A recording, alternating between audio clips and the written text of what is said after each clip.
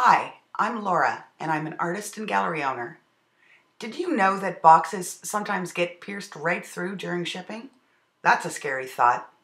So I developed my own method for protecting art. It's easy and secure, and it's going to save you a ton of money. Let's look at what supplies you're going to need. A good sharp utility knife. Packing tape. Please don't go to the dollar store for tape. It will break or shred and drive you crazy.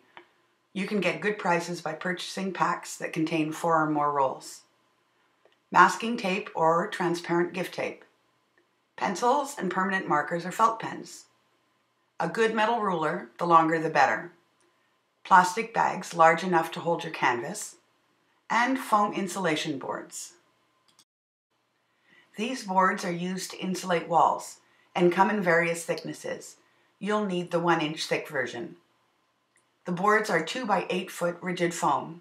They are available at any home renovation store, and if the 8 foot length is too long for your vehicle, just bring along a utility knife to cut it down to a more manageable size.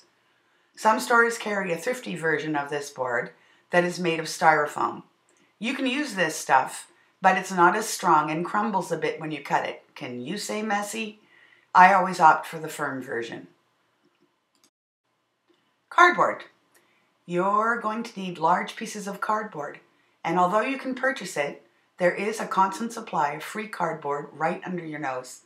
Almost every retail store has a recycling bin behind it that is full of shipping boxes that have been folded down to be recycled. I have a few favorite spots for finding boxes, but I often go to the bin behind a Pier 1 store.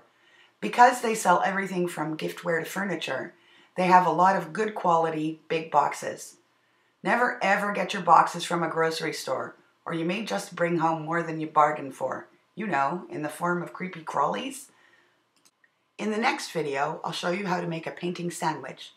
This will be the first layer of protection for your canvas.